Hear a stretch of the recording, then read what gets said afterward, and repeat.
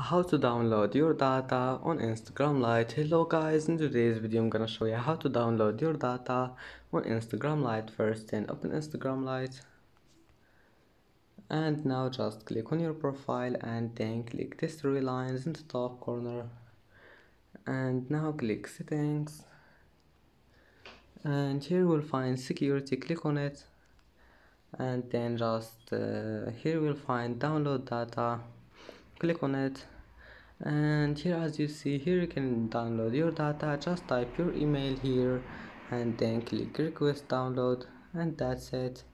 And that's how to download your data on Instagram Lite.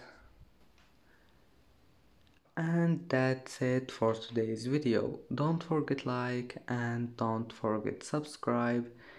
And thank you for watching this video until the end.